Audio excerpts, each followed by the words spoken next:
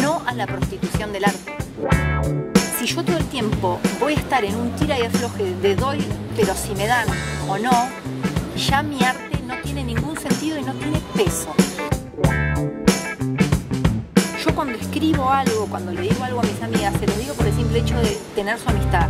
Y cuando lo plasmo en una pared digo, si le sirvió a un amigo y si me sirvió a mí, le puede servir a cualquiera. esto lo que me pasa a mí. Lo plasmo para que sea para todos.